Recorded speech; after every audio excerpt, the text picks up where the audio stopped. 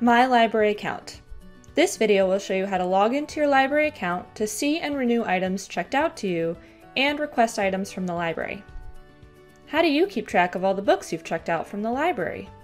My Library Account allows you to see what you've checked out, when they are due, and much more.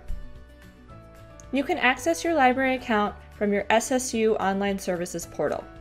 Once you've signed in, you can see all items loaned to you, your current requests from CSU Plus or our automated retrieval system, as well as any fines, fees, or messages you might have received. You can renew any items checked out to you by choosing the Renew button. Once you've logged in, there are also special features you can access in the library's catalog, OneSearch. You can request items from any CSU library through CSU Plus, the California State University Libraries Resource Sharing System. You can also save items for later, always accessible in your favorites. Just click your pin to see, organize, and access your favorites.